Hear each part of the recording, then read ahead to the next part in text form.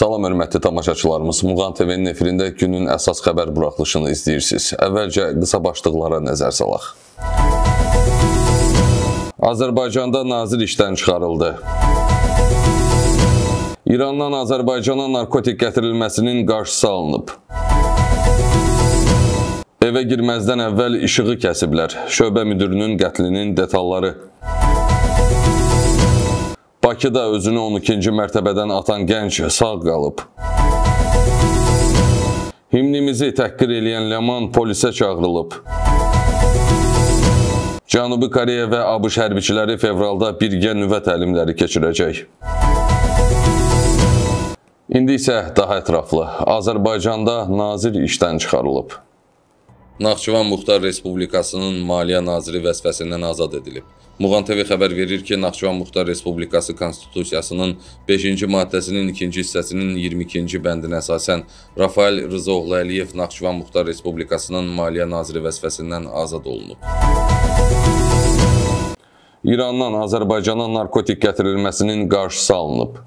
Yanvar ayının 11-də saat 04:50-də Dövlət Sərhəd Xidmətinin sərhəd qoşunlarının Horadiz sərhəd dəstəsinin Füzuli rayonunun Böyük Bəhmənli kəndi yaxınlığında yerləşən sərhəd zastavasının xidməti ərazisində Azərbaycandan İran istiqamətində dövlət sərhədini pozmağa cəhd göstərən 2 nəfər Azərbaycan vətəndaşı saxlanılıb. Bu barədə Dövlət Sərhəd Xidmətinin mətbuat mərkəzindən məlumat verilib. Araşdırma zamanı saxlanılan şəxslərin Bərdə rayon sakinləri 2003-cü il təvəllüdlü Cəfərov Elməddin Niyaməddin oğlu və 2005-ci il təvəllüdlü Süleymanov Seyfəl Mürvət Mürvət oğlu olmaları müəyyən edilib. İlkin dindirilmə zamanı hər iki şəxs İrandan narkotik vasitə gətirmək məqsədi ilə dövlət sərhədini pozmaq niyyətində olduqlarını etiraf ediblər. Fakt üzrə əməliyyat istintaq tədbirləri davam etdirilir. Evə girməzdən əvvəl işığı kəsiblər. Şöbə müdürünün qətlinin detalları Yevlax rayon mərkəzi xəstəxanasının vərəm şöbəsinin müdiri Bəyaz Cabbarovun dünən axşam saatlarında bıçaqlanması barədə yeni detallar məlum olub. Muğan TV xəbər verir ki, Cabbarov gəlini ilə birlikdə mənzildə olan zaman qətl yetirilib. Hadisəni törədən naməlum şəxs və ya şəxslər tərəfindən mənzilə daxil olmadan əvvəl elektrik enerjisi kəsilib. Daha sonra evin ikinci mərtəbəsində həkimə 21 bıçaq zərbəsi vurulub. Hadisə yerinə təcili tibbi yardım maşını çağırılıb və həkim briqadası əraziyə yollanıb. Cabbarov Yevlax rayon mərkəzi xəstəxanasına aparılarkən yolda dünyasını dəyişib. Hadisə baş verən zaman onun oğlu evdə olmayıb.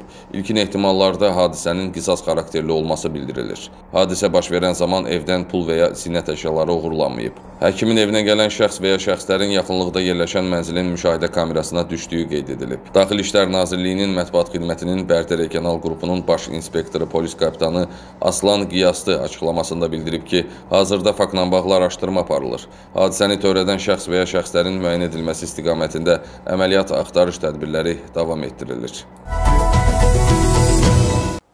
Bakıda özünü 12-ci mərtəbədən atan şəxs sağ qalıb. Bakıda 19 yaşlı oğlan özünü çox mərtəbəli binadan atıb. Muğan TV xəbər verir ki, ötən gecə saat 21 radələrində 2004-cü il təvəllüdlü şəxs özünü Binəqədi rayonu Hacıyev küçəsində yaşadığı binanın 12-ci mərtəbəsinin eyvanından atıb. O ağır vəziyyətdə xəstəxanaya çatdırılaraq reanimasiyaya yerləşdirilib. Faktla bağlı araşdırma aparılır. Himnimizi təhqir eləyən Ləman polisə çağırıldı. Tanınmış tiktoker Ləman Vəliyeva himnimizi təhrif edərək söyüşlə oxuyub. Muğan TV xəbər verir ki, TikTokda canlı yayım açan Ləman Azərbaycan himninin sözlərini dəyişib və ona şərh yazan izləyicilərindən birini himni oxuya-oxuya təhqir eləyib. Məsələ ilə bağlı Daxili İşlər Nazirliyinin mətbuat xidmətinin şöbə rəisi polis mayoru Elşad Hacıyev açıqlamasında deyib ki, o polis bölməsinə dəvət olunub. Vətəndaş Ləman Vəliyeva müəyyən edilərək polis orqanına dəvət edilib. Onunla profilaktik icraat işi aparılıb. O bu əməlindən səmimi peşmançılığını ifadə eləyərək üzrxahlıq eləyib, səhifələrindən paylaşımı silib. Həmin görüntüləri təqdim eləyirik. Şəklini də paylaşacağam. Biləsiz kimi deyirəm. Namusunu hipsetmeye Bayrağını yükseltmeye. Hayıfçı bu Azerbaycan'da Yaşıyor anarşimi peyserler. Anar peyser Anar açıklar o peyser. Hey! Sen de belə çıxartdın Yandır bir Hələ kim bilir, Allah bilir bundan sonra nələr görəcəyik bu TikTokda. E, TikTok platforması həqiqətən çox maraqlı bir platformadır, amma çox təəssüflər olsun ki, Azərbaycanda tamam fərqli bir spektrdə istifadə olunur e, hansı əksər canlı yayımlarda belə deyək, canlı yayımları belə deyək, çarxı fırladarkən, lentanı gəzərkən, həmin o lenti gəzərkən görürsən ki, əksəriyyətində əyləşir falçılar, özünü öncə görən adlandıranlar və s. dələduzlar bir sözlə və insanların adını, deməli, adını, yaşını söyləməklə onların bütün həyat xronikasını deyirlər hansısa nə, nə bilim oradakı hədiyyələrin hesabına, jetonların və s. hesabına, digərləri canlı yayım açaraq biri bir, bir eyni evdə bir otaqda o birisi əyləşib, o birisi otaqda da digəri əyləşib, güya bir-birlərini belə deyək, diskussiya aparırlar, bir-birlərini orada tamaşa göstərərək qırırlar və izləyicilərdən deməli oyun aparırlar,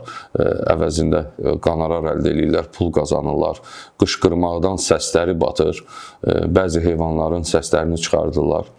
Digərinə baxırsan canlısında e, maraqlı da belə bir studiya formasında MC mikrofona kimi alıb qoyub özü üçün sanki bu məşhur bir DJ-dir, aparıcıdır, müğənnidir və yaxud və s. Yəni hər hansı bir güya ki bunun qabiliyyəti var.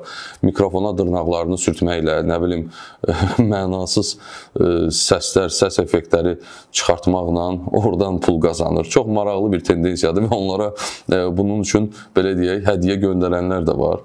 E, və digərləri də bax belə sosial şəbəkələrdə kimisə söyür və yaxud çıxır orada sanki bir qeybət yığıncağıdır, sosial problemlərdən danışır. Hətta e, TikTokda bəzən hansısa bir dövləti səhv çıxardan, hansısa bir e, məşhur lider, siyasətçini səhv çıxardan, bütün ekspertlərin rəyini yerə çırpan e, şəxslər var ki, hər gecə yığılırlar. Bir gün e, misal üçün deyirəm, e, Baydeni səhv çıxardırlar, bir gün yığılırlar, nə bilim, e, bildirirlər ki, Çinin ərazisi əslində Antarktidada olmalı idi və s. kimi e, tendensiyalar üzərində e, müzakirə müzakirələr aparırlar və s. Bir sözlə həqiqətən də e, necə deyirlər qarma-qarışıq bir e, sistem var Azərbaycanda ki, e, belə deyək, TikTokerlərdən gedirsə söhbət və yaxud oradakı canlı yayımlardan və s. çox tək-tük rast gələ bilər. Hər hansı bir intellektual məsələ ilə bağlı, ola bilər hansısa bir müğənnilər belə deyək, canlı yayım açaraq öz e, pərəstişkarları ilə e, belə deyək, e, ünsiyyətdə ola bilərlər və s. Amma belə mənzərələr və indi də gördüyümüz kimi himnimizi e, təhqir eləyib və polisə çağırılıb, e, ardınca e, üzr istəyib və həmin görüntüləri öz hesabından silib, həqiqətən də e, mənasız və özümüzü bir növ belə deyək, yəqin ki, bizi düşmən də izləyir. E, hal-hazırda internet şəbəkəsi belə deyək, hörmüçək toru elə bir şeydir ki, e, eyni bir neçə dəqiqə ərzində eyni anda başqa-başqa dövlətlərdə də eyni anda həmin belə deyək, görüntüləri izləmək olur. Yəqin ki, düşmən ölkənin də belə deyək, abunəçiləri və yaxud orada belə deyək, TikTok fəaliyyəti ilə hər hansı bir belə TikTokerlik fəaliyyətinə məşğul olanlar varsa, görürlər və əlbəttə özümüzü gülünc hala salırıq. Yəni ən sonunda yazılır ki, bu video Azərbaycanda e, çəkilib. Ona görə də e, maksimum şəkildə sosial şəbəkə platformalarından Çoxsa elə bilir ki, e, yəni TikTok sosial şəbəkə, sosial şəbəkə ümumi belə deyək anlamda, ümumi şəbəkəyə deyilir, amma e, Instagram, Twitter, e, TikTok və s. bunlar hərəsi bir sosial şəbəkə platformasıdır. Bu platformalarda maksimum şəkildə maarifləndirici, faydalı nələrisə paylaşmaq, önə çəkmək, maraqlı nələrisə paylaşmaq və yaxud canlı yayımlar açmaq daha yaxşı olar. Nəinki bax belə mənzərələri izləyib belə mənzərə ilə qarşılaşanacaq. Cənubi Koreya və ABŞ hərbiçiləri fevralda birgə nüvə təlimləri keçirəcək. Cənubi Koreya və ABŞ hərbiçiləri fevralda komanda qərargah təlimləri keçirməyi planlaşdırır. Bu barədə Koreyanın Milli Müdafiə Nazirliyindən bildirilib. Qeyd olunub ki, təlimdə nüvə silahından istifadə ilə bağlı məşqlər keçiriləcək. Məlumata görə fevralın ikinci yarısında ABŞ-da komanda qərargah təlimləri keçiriləcək. Bildirilib ki, Cənubi Koreyanın nümayəndə heyətinə Müdafiə Nazirinin müavini rəhbərlik eləyəcək. Eyni zamanda vurğulanıb ki, müttəfiqlər bu yaz ilk dəfə olaraq 11 gün ərzində fasiləsiz azadlıq qalxanı təlimləri keçirməyi planlaşdırır. Planlaşdırır. Əvvəllər ABŞ və Cənubi Koreya hərbiçiləri təlimlərlə bağlı qısa fasilə vermişdilər. Bildirilib ki, Seul və Vaşinqton 2023-cü ilin birinci yarısında ümumilikdə təxminən 20 çöl təlimi keçirməyi planlaşdırır.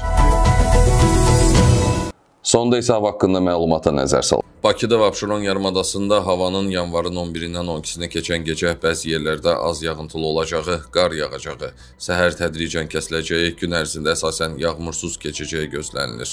Milli Hidrometeorologiya Xidmətindən verilən məlumata görə mülayim cənub-şərq küləyi əsəcək. Havanın temperaturu gecə 1-3 dərəcə şaxtadan gündüz 1-3 dərəcəyədək isti təşkil eləyəcək. Yanvarın 11-dən 12-sinə keçən gecə şəhər ətrafı yollar buz bağlayacaq. Azərbaycanın rayonlarında bəzi yerlərdə arabir yağıntılı olacağı, sulu qar, qar yağacağı gözlənilir. Havanın temperaturu gecə 2-6 dərəcə şaxta, gündüz 2 dərəcə şaxtadan 3 dərəcəyədək isti, dağlarda gecə 15-20, gündüz 5-10 dərəcə şaxta olacaq. Belə əziz izləyicilərimiz, bu günlük isə çatdıracaqlarımız bu qədər. Özünüzdən müğayət olun. Hələlik.